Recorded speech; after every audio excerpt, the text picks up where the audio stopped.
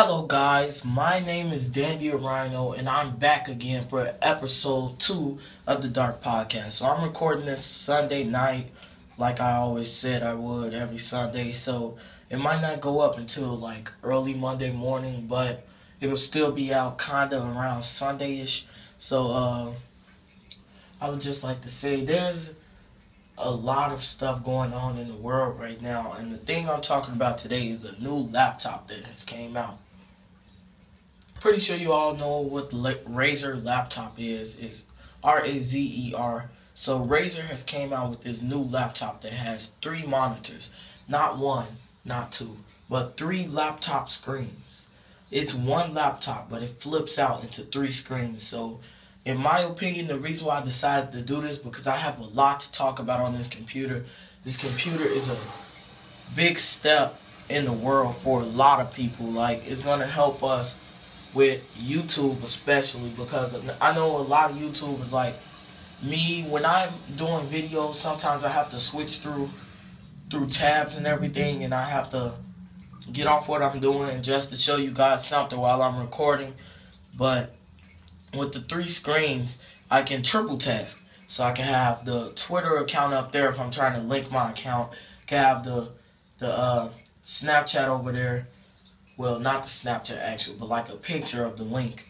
And then I can have my gaming right there. So to me, it will be a big step in the YouTube community because it'll stop us from having to do all the work that comes with having to constantly switch back and forth, back and forth and hopefully, if this computer sounds as great as it looks, this will go very well. So, uh, also the the laptop is is three screens is a big improvement from a lot of stuff. We saw like computers with three monitors, but that has to be edited.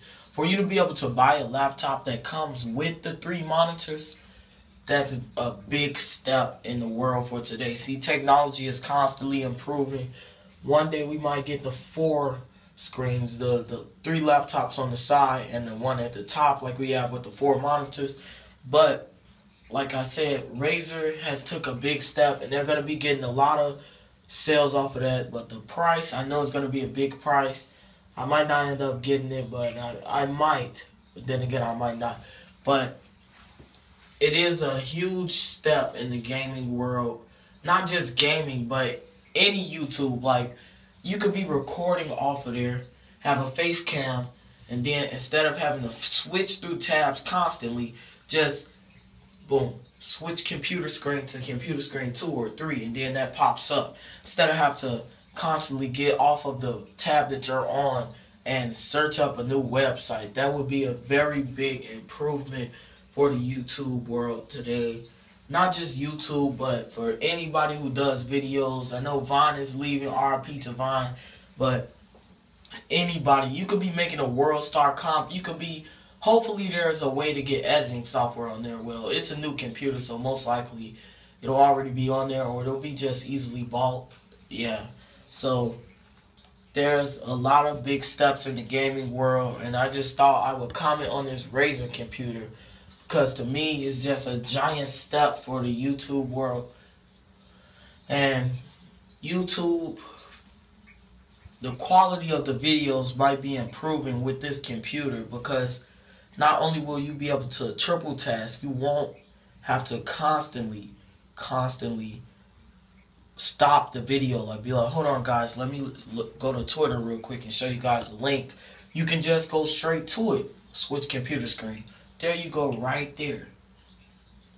See, I like this laptop already, and it hasn't even, I don't know if it's came out or if it's still being edited, but they have posted the pictures of it online. All you have to type in is new three-screen Razer laptop. If you don't want us to type in all that, just type in three-screen laptop, and the Razer computer should be right there. So I'd like to thank you guys for joining me for episode two of the Dark Podcast. And like I was saying, uh, I've recorded two vlog number twos. The one that was recorded Saturday night, it didn't turn out right. The, the, I didn't have good lighting. I forgot to turn the camera light on. Then the one from that I recorded Saturday morning. No, the other one that I was just talking about with the bad lighting, that was Friday night. And the one from Saturday.